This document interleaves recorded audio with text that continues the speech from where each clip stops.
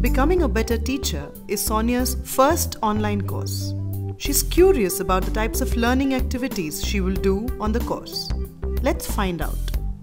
When you access the learning steps for each week, you will see that the type of activity is indicated next to the name of the step.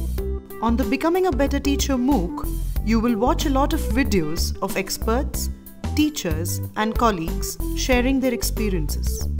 To watch a video, simply press play.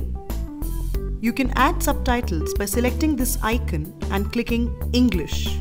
You can also view the transcript of the video by accessing this link.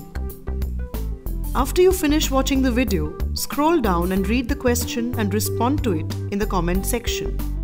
Don't forget to mark the step complete before moving on to the next step. Let's look at another type of activity, discussions. Read the information and answer the questions by adding a comment. With discussions, it's especially important to read what other learners have written and respond to their comments. The third type of activity is an article that you need to read. This may be a short text posted on the step or a link to an external site. Lastly, there are also exercises and quizzes which allow you to reflect on your own experiences.